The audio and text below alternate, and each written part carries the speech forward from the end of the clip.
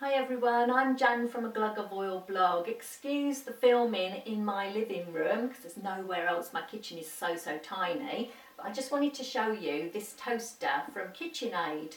It's really, really stylish. The colour is just gorgeous and it's called Velvet Blue. It's got seven different settings so it can get your perfect shade toast for you. And we've got a keep warm setting We've got a bagel setting, which is really good because it actually only toasts, when you use that function, it only toasts the sliced side of the bagel. Really handy. Then we've got a um, defrost and, it's a defrost and cooks your toast basically, so from frozen to toast. Then we've got a keep warm function as well. I'm just going to show you, because this is not just like, um, you know your normal toasters where you put your toast down. When it's finished, it goes ping and your toast goes flying up in the air. None of that with this one because it's a mechanical mechanism. So it basically just takes your toast down.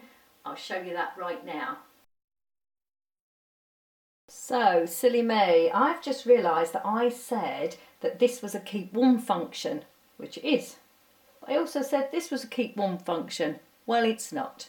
Seriously, take the notice of me. Oh my goodness. This is actually a reheat button. So what it is, is you know like if you did two pieces of toast and you took one out and buttoned it in it and then you thought, oh, I've still got another one. Oh, it's gone cold now. Ugh.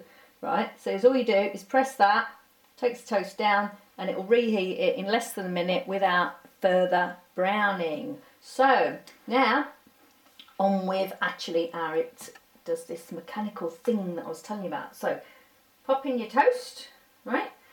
Normal whites, common garden slice bread.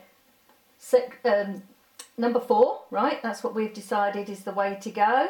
So, selected four. For the darkness, we think four's good. So press the button and ta-da! Isn't that very marvellous? Well, I think so. It's brilliant. It's actually none of this springing of bread like I told you when it's finished. Just watch when it's done and you'll see what I mean. Instead of standing here filming the whole toasting process, what we'll do is I'll stop the film and come back in a moment.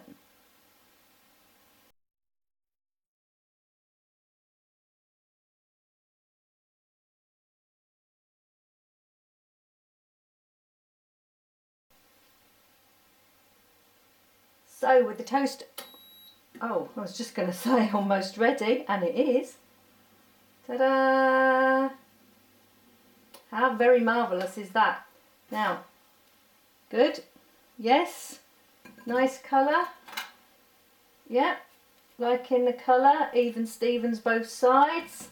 So there we have it, the KitchenAid toaster.